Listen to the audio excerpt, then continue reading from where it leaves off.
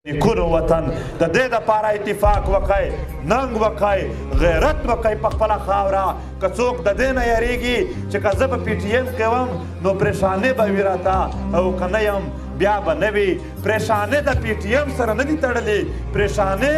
غمونه خوشحالې دا د انسان په فطرت کې پرتې دي دا چې ته په کوم فیلډ کې وې ستا سره به وي په قامي ننګ کې په ولا دغه ډیرو خلکو کړای دی د دوی نه تاسو وکي په قامي نن کې سکون د هیڅ پریشانی نشته په قامي نن کې د مظلومانو د ملګرتیا د محکومانو ملګرتیا کې سکون دی او دغه سکون مونږه سره وو هیڅ پریشانی نشته مرګ او ژوند خدای بیا هم یو عارض لیکلی دی مرګ با نه په بغیرتو باندې زیاتیږي دا ژوند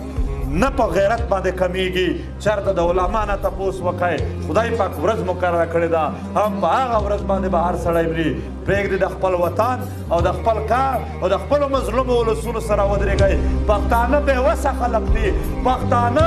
دلته ډېر د ورکو بچیان د ورکو خلکو مندې راغلي دي هغو هیڅ هیڅ وسې نشته صرف په کور کې ژاړي صرف په کور کې روزانه مړی نه وي خو د مړي ویر وي مونږ دا ورته وایو چې ستا عدالتونه جوړ دي که چا ګناه کړی وي راشه ورته ورته راوله کومه سزا په دې آیین کې وي ته یې ورکړه چې بې ګناه وي پښتانه مه ځوروئ پښتانه مه دردوئ دلته ډېر بې ګناه خلک یې وویشتل هم په دې اوس وختونو کې یې دلته عرفان الله نام یې و یو استاد و خاطر شینواري دی نور یې وویشتل هغه د مندې او پلارونو امیدونه وو مندې پلارونو په دوی خپل ژوند ښه کولو نن هغه مندې د ډېر تکلیفه روزانه ژاړي او د ډېر ژړا نه خپل سر په پټکي وتړي د درد نه د هغو سره ودرېږئ دا پي ټي ایم د هغو خبره کوي